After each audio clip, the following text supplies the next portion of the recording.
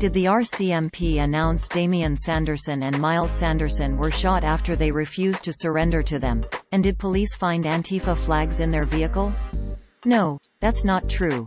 As of August 5, 2022 the suspects of the August 4, 2022 stabbing that left 10 people dead in the James Smith Cree Nation in Saskatchewan remain on the loose and police are still looking for them. Regrettably the only real part of the story is that the stabbings took place.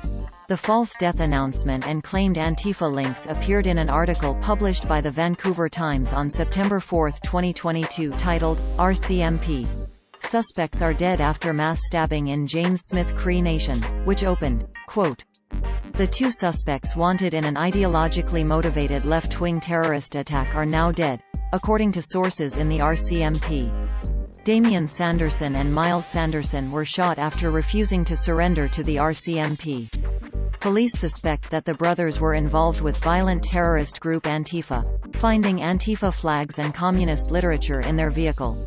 The shooting occurred on the outskirts of Saskatoon. End quote. The story linked to a CBC article, as its source but that article only confirmed the suspects were still on the loose. Quote.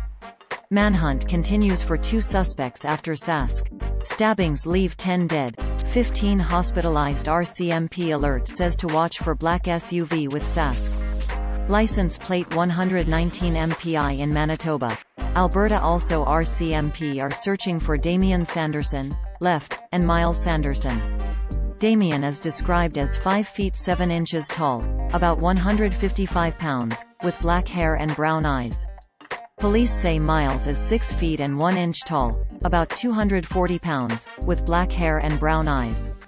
RCMP, RCMP have issued a dangerous persons alert across Saskatchewan, Alberta and Manitoba, after multiple people were stabbed early Sunday morning in James Smith Cree Nation and the nearby village of Weldon, Sask.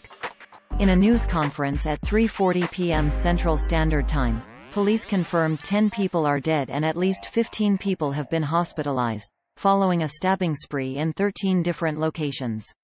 End quote. Local police confirmed on Twitter they are still searching for the men. Quote, the at Regina Police continue to work collaboratively with our partners at RCMPSK on this investigation that started this morning on James Smith Cree Nation.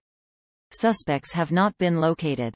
An active, focused investigation will continue until they are located and taken into custody.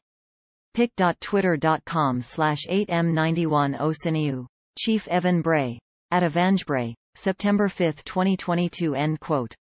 The Vancouver Times is a website that has published several made-up stories in the past, claiming on its About page to be a satirical publication, despite the complete lack of any discernible humor on the site. Quote, About Us Vancouver Times is the most trusted source for satire on the West Coast.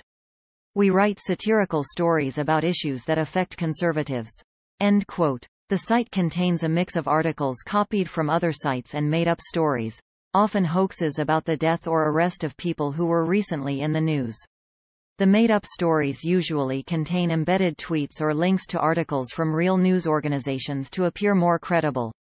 Another common theme of the made-up stories is that many of them claim there is some sort of media blackout in effect to explain the fact that the site is the only outlet reporting certain details.